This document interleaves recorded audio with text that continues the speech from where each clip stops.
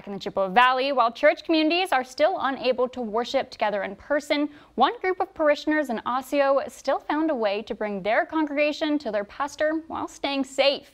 Amy McEwen and her husband Brent, along with other members of the Osseo Evangelical Lutheran Church, printed out photos of everyone who regularly attends services before placing those pictures in everyone's usual seat in the pews, all to surprise Pastor Terry Lorenz when he went to film a virtual sermon this week.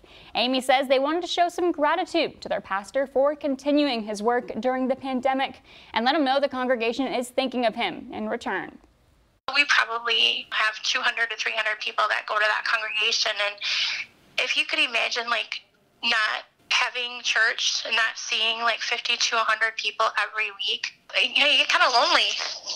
Amy says she found the idea on the social media app TikTok, saying that she and the others thought it was a great way to bring the church back together while still safely social distancing.